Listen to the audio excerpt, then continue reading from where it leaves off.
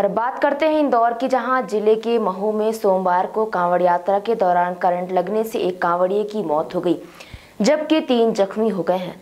DJ की धुन पर डांस कर रहे एक कांवड़िए का हाथ 11000 किलो वॉट की, की बिजली की लाइन से टच हो गया था।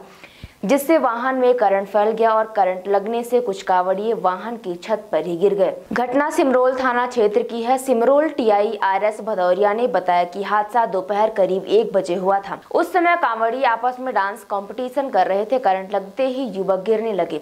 एक युवक रौनक की मौके पर ही मौत हो गई है। वहीं शिव लोकेश और अतुल झुलस गए हैं। शिव को इंदौर के एमवाई अस्पताल रेफर किया गया है। लोकेश और अतुल का इलाज महू में हो रहा है।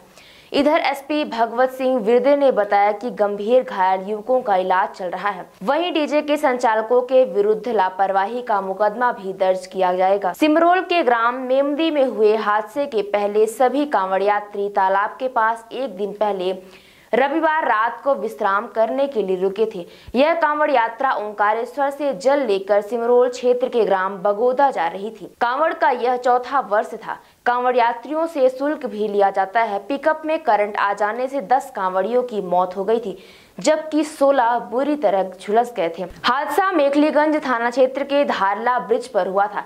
27 कांवड़िए पिकअप पर बैठकर जलपेश के शिव मंदिर में जल चढ़ाने जा रहे थे। पिकअप के पीछे ही डीजे बज रहा था। जनरेटर के वायर में शॉर्ट सर्किट होने से पिकअप में करंट पहुँच गया। इसकी चपेट में कांवड़िए आ गए थे।